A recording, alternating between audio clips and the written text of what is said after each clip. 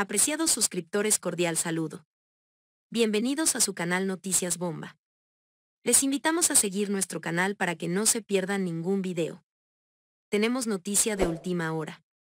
Aunque su familia desmiente la noticia de muerte cerebral de Vicente Fernández, medios insisten en informar lo contrario. Quédense hasta el final del video para que se enteren de todos los detalles. Vicente Fernández tendría muerte cerebral, asegura publicación mexicana. Según una revista azteca, Vicente Fernández tendría muerte cerebral, y así se lo habrían dicho los doctores a sus familiares desde el pasado 5 de octubre. Según indica la revista mexicana TV Notas, tanto en su edición impresa como en su web, el cantante Vicente Fernández ya habría tenido muerte cerebral y así se lo habrían hecho saber los médicos a su familia, desde el pasado 5 de octubre. La publicación asegura haber tenido contacto con un amigo de la familia que contó detalles sobre el verdadero estado de salud del artista, que es contrario a lo que su familia ha dicho en varias declaraciones.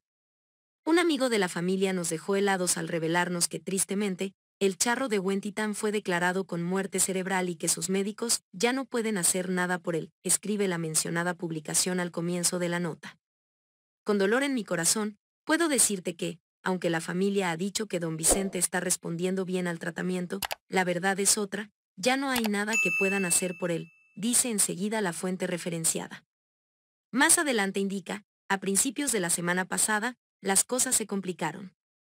Don Vicente se encuentra conectado a dos ventiladores, con una traqueostomía y con una saturación de oxígeno en la sangre de entre 76% y 73%, niveles que son muy graves.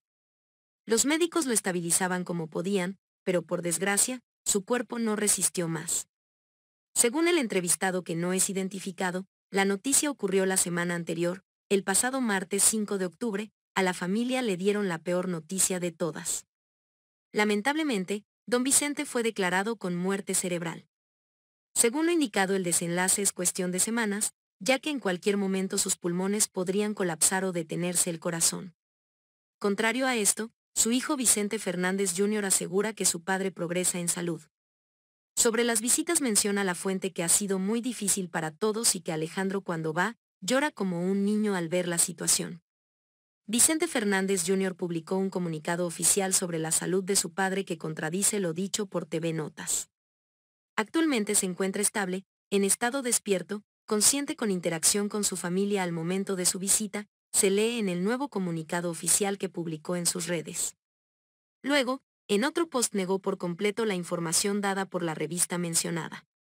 Sin embargo, el amigo de la familia, lamentó que ya no hay nada que se pueda hacer por él, precisando que al cantante le quedarían unas dos semanas de vida como mucho. Chente fue ingresado el pasado mes de agosto tras sufrir un accidente en su rancho Los Tres Potrillos. Gracias por ver este video. No olvides suscribirte, darle like y compartir.